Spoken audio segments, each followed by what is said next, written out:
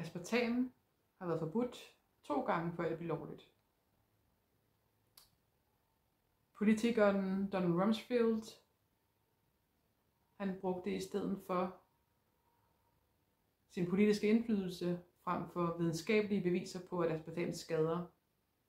Så han fik sørget for, at aspartam blev godkendt trods videnskabelige beviser i FDA, altså den amerikanske fødevare- og sundhedsstyrelse. Så hvordan kan det være, at aspartam er lovligt, hvis det er, lavet forbudt førhen?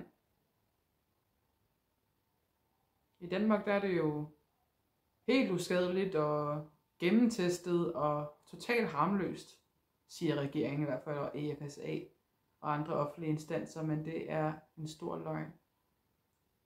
Aspartam er farligt. Det gør folk syge. Der er masser af forskning på det. Der er masser af bivirkninger på aspartam.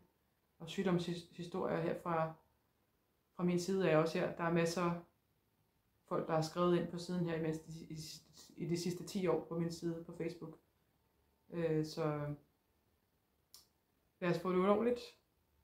Der, der er brug for, at det bliver forbudt. Du kan læse mere ind på aspartam.dk og følg gerne med på min kanal for at se mine ugentlige videoer. Og vi ses i den næste video.